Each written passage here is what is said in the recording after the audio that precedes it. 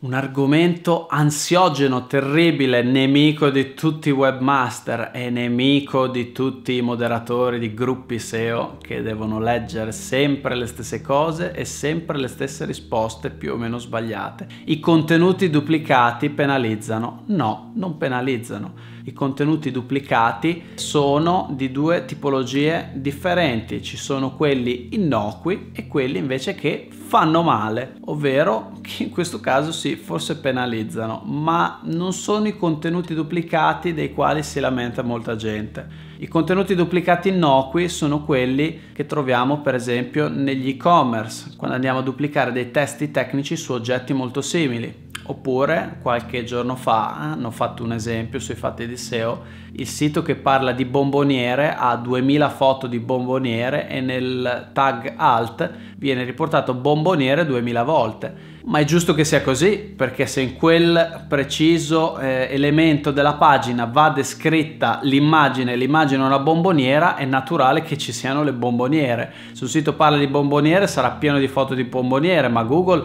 è abbastanza furbo da capire che è normale che sia così. Anche le formule legali, se possono essere utili, se le duplichiamo non succede niente magari avete sentito proprio me dire un anno o due fa che si poteva pensare di mettere per esempio un'immagine così che non fosse scansionato il testo o metterci dentro il JavaScript.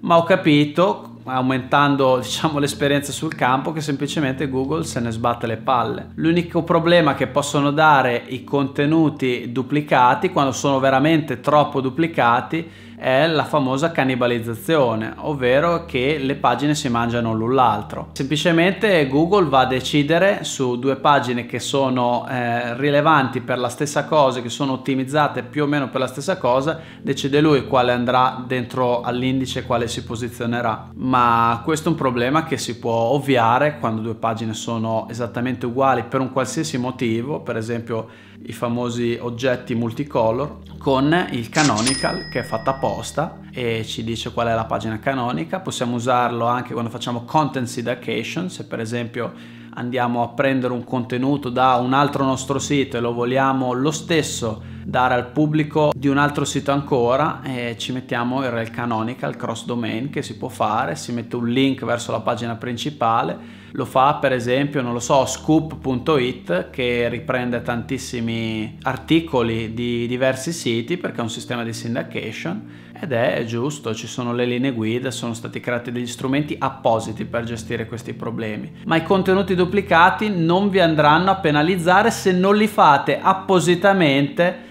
per rankare meglio, quando sono usati in modo malevolo, quando sono usati consciamente in modo malevolo.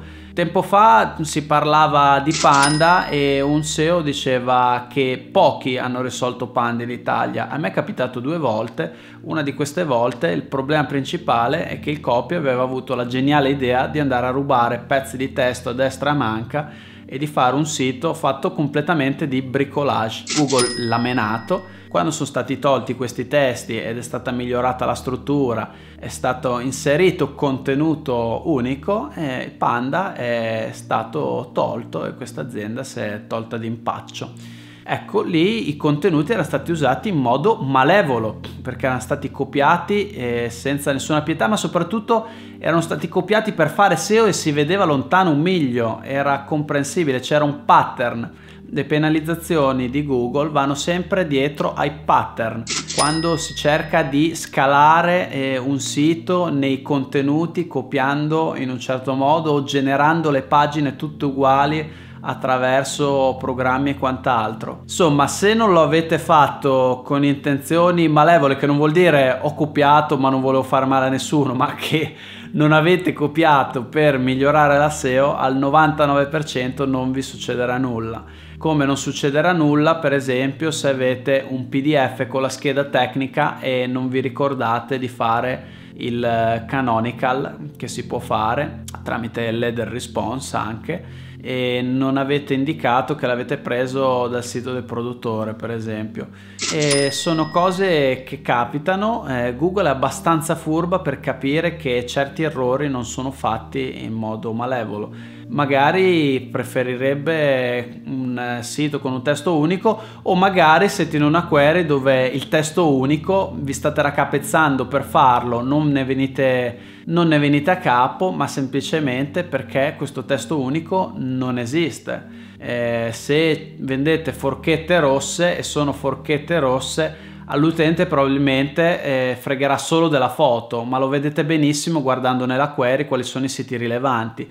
In tanti cataloghi di arredamento, di rivenditore di arredamento, non c'è bisogno di testi unici per ogni eh, oggetto uguale rivenduto in 2000 rivendite in tutta Italia gli frega di più che sia strutturata l'esperienza in modo che l'utente possa sfogliare il catalogo. Sull'arredamento capita tante volte che i siti non hanno bisogno di testo, non hanno bisogno del Google Text, della mappozza di testo. E quindi sto contenuto duplicato state abbastanza tranquilli. Cercate di capire soprattutto se nella query serve o meno un certo tipo di testo. Io nei prodotti e-commerce dico sempre cercate di descrivere quali sono le problematiche uniche e specifiche che questo tipo di oggetto nel vostro catalogo va a risolvere ne troverete di roba da scrivere che non è stata scritta, ne trovate sempre parecchia su certi tipi di siti. Se invece vendete immobili che vendono tutti gli altri, probabilmente avrete più successo se fate delle foto vostre, belle, accattivanti, che eh,